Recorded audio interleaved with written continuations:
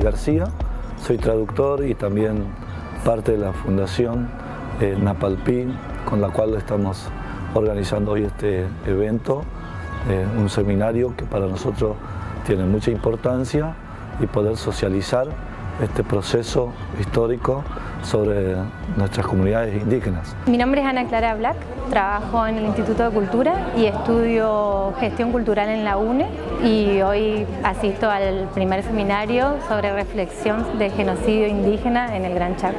La verdad que me parece muy necesario, indispensable y crucial para nuestra sociedad que espacios como estos funcionen, existan. Mi nombre es Cristian Hoffman, yo soy docente de literatura, eh, soy de Luján, trabajo en localidades cercanas. Yo creo que contribuye mucho este tipo de encuentros a la tarea docente porque es una forma de tomar conciencia acerca de la necesidad de ponerse en el lugar del otro. Yo me llamo Diana Lenton, soy antropóloga recibida en la Universidad de Buenos Aires y en este momento soy docente en la Universidad de Buenos Aires y también soy investigadora de CONICET. Estas jornadas eh, vienen a cumplir, a llenar una necesidad por lo rápido que se llenan los cupos, ¿no? Según me contaron, enseguida se inscribió un montón de gente. Se ve que en este momento hay una demanda muy fuerte por esclarecer estos puntos oscuros de la historia, eh, sobre todo en el ámbito de los docentes y también los estudiantes que quieren complementar su formación.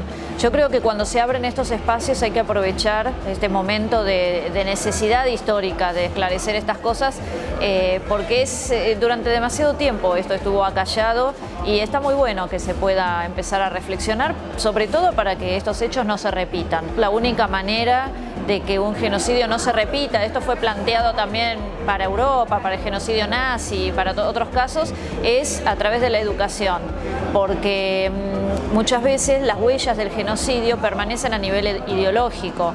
Un genocidio necesita del racismo, necesita de que se considere al otro como un ser inferior, como un objeto, como algo que puede ser eliminado. Entonces la única manera de evitar que se vuelva a producir un genocidio es cambiar esa mentalidad y para eso necesitamos la educación y la difusión de lo que pasó. Mi nombre es Orlando Sánchez, pertenezco al pueblo Toa.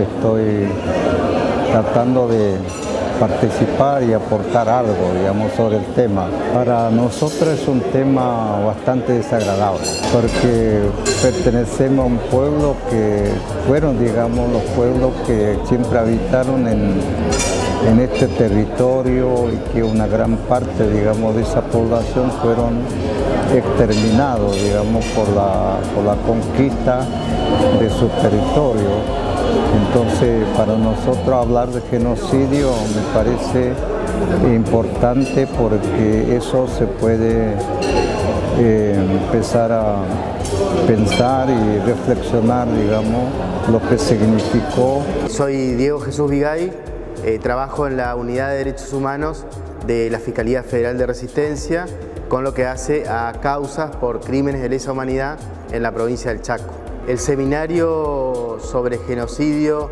en el Chaco argentino eh, son unas jornadas que tienen que ver con un análisis integral de lo que ha sido el genocidio sobre nuestros pueblos originarios en, la Argentina.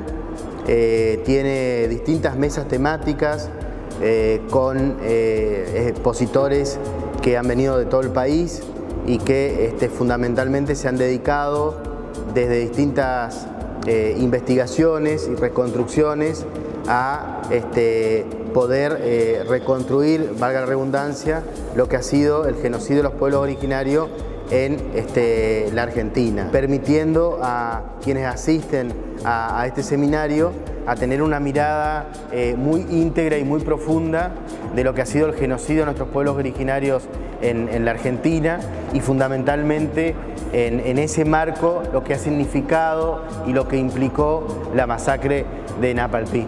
Soy Marcelo Musante, sociólogo, resido en la Universidad de Buenos Aires, formo parte de la red de investigadores en genocidio y política indígena y vengo trabajando hace mucho tiempo todo lo que tiene que ver con el genocidio específicamente ocurrido en la región chaqueña. Creo que es importantísimo hablar de genocidio indígena para traer al presente discusiones que aún no están saldadas. Algunas cosas que se construyeron en aquel genocidio constituyente de las campañas al desierto y que siguieron con masacres como Napalpí o Rincón Bomba, hoy siguen teniendo consecuencias en el acceso a la salud, en el acceso a la educación, en represiones, ante demandas indígenas en, las rutas o, ante protestas sociales de diversos tipos.